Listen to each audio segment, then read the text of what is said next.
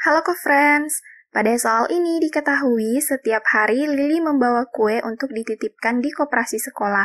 Nah, hasil penjualan yang diperoleh Lili selama satu minggu ditampilkan dalam tabel berikut, di mana pada tabel ini terdiri dari kolom hari, dari hari Senin sampai hari Sabtu, dan kolom hasil penjualan untuk masing-masing hari.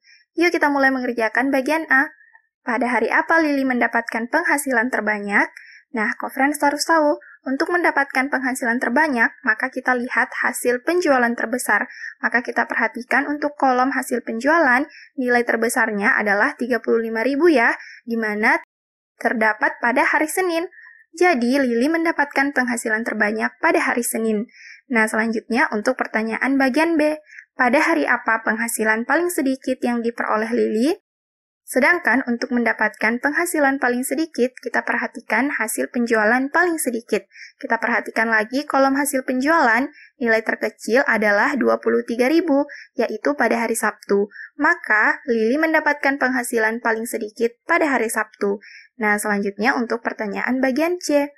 Berapa total penghasilan yang diperoleh Lili selama enam hari?